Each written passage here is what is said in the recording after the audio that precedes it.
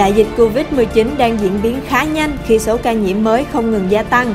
Tính đến 7 giờ sáng ngày 7 tháng 8, đã có 215 quốc gia, vùng lãnh thổ trên toàn cầu mắc Covid-19. Gây nhiễm 19,2 triệu người, 12,3 triệu người hồi phục, hơn 716.300 người tử vong. Riêng Việt Nam có 750 người nhiễm bệnh, gồm 392 người được công bố khỏi bệnh, 358 người đang được chữa trị và 10 người tử vong. Trước tình hình dịch diễn biến ngày một phức tạp, thì những biện pháp để phòng tránh sự lây lan của dịch bệnh được Bộ Y tế khuyến cáo như hạn chế tiếp xúc, giữ khoảng cách, đeo khẩu trang nơi công cộng, rửa tay thường xuyên, vệ sinh nhà cửa, khai báo y tế được người dân hưởng ứng tích cực. Thì để góp phần nâng cao sự an toàn cho khách hàng và tài xế trên xe, các phương tiện công cộng còn triển khai dựng vách ngăn bằng tấm nhựa trên xe. Việc làm này nhanh chóng nhận được sự chú ý đồng thuận của mọi người.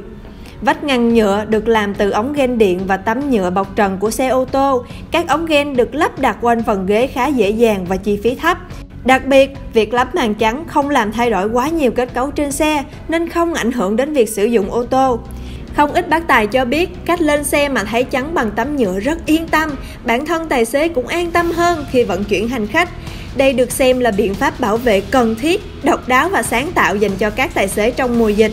Ngoài việc lắp đặt tấm chắn trên xe, đeo khẩu trang, rửa tay sát khuẩn thì tài xế phải thường xuyên khử khuẩn xe, tắt điều hòa, hạ cửa kính cho thoáng.